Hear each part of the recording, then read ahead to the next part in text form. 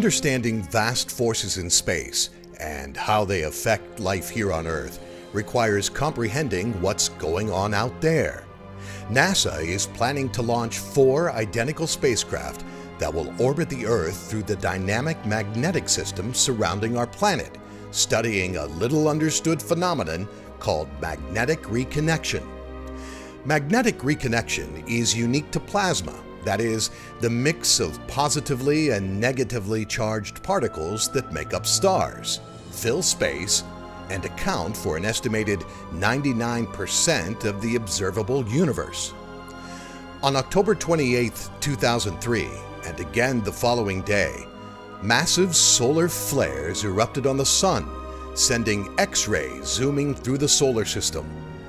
Along with the flares, the Sun expelled giant clouds of solar material called coronal mass ejections, or CMEs. The CMEs slammed into Earth's magnetic field and pushed material and energy in toward Earth.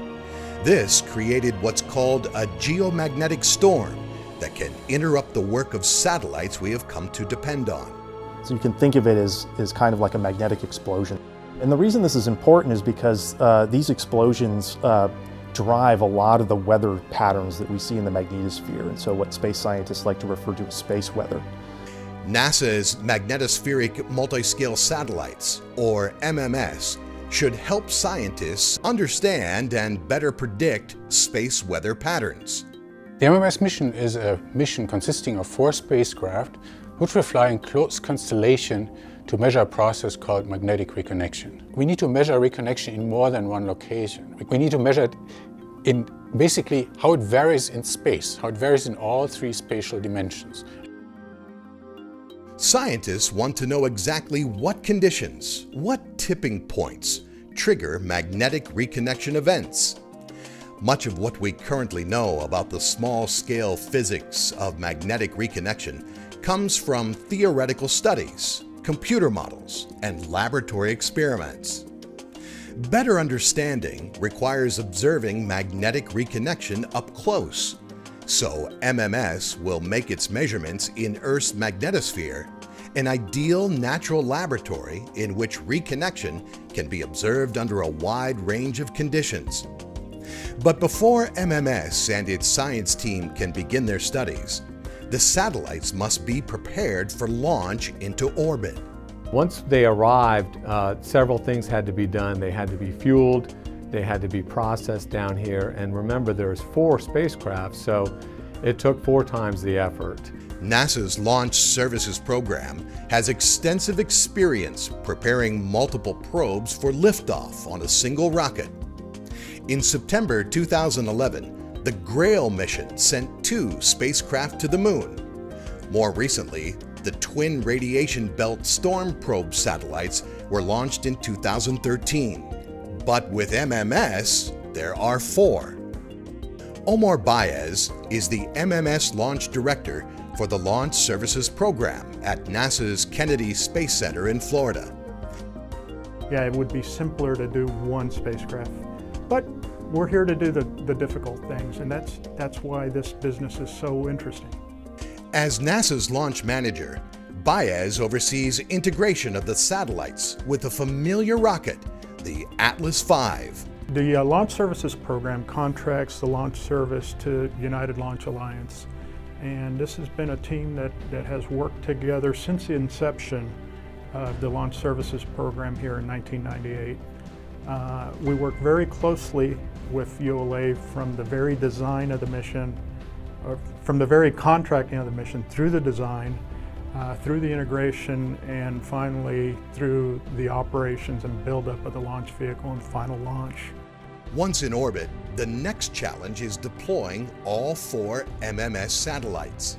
Uh, to get them in the right orbit in the right place is a complicated flight design challenge that our team has had.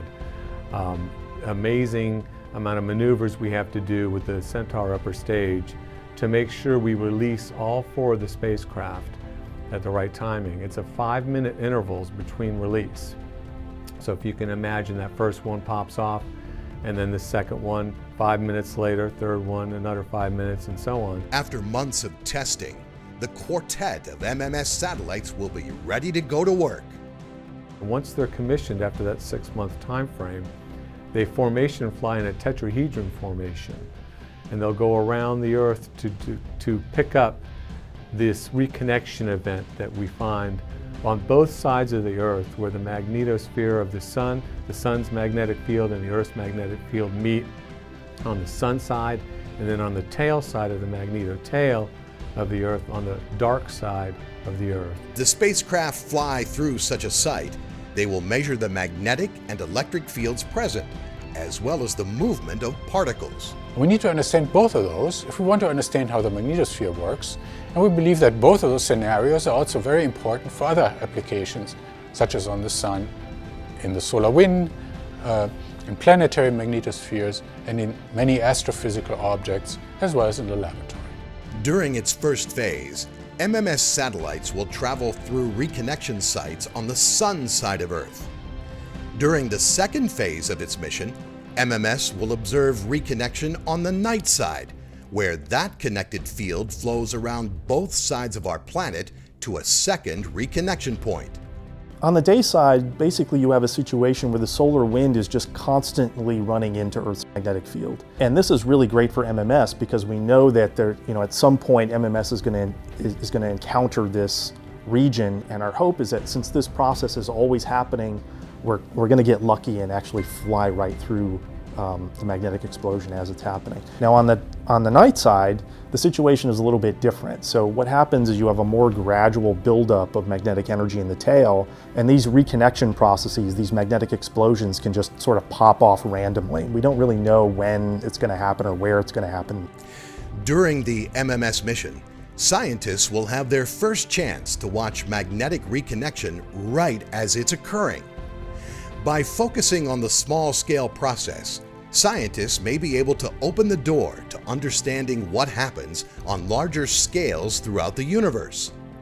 Of course, it also will teach us more about giant geomagnetic storms, thus helping us safeguard our home planet. We hope that it's going to allow us to improve our models so that we can put the right physics in it and actually make predictions about where and when reconnection is going to happen, and this will help us make our space weather models more predictively powerful.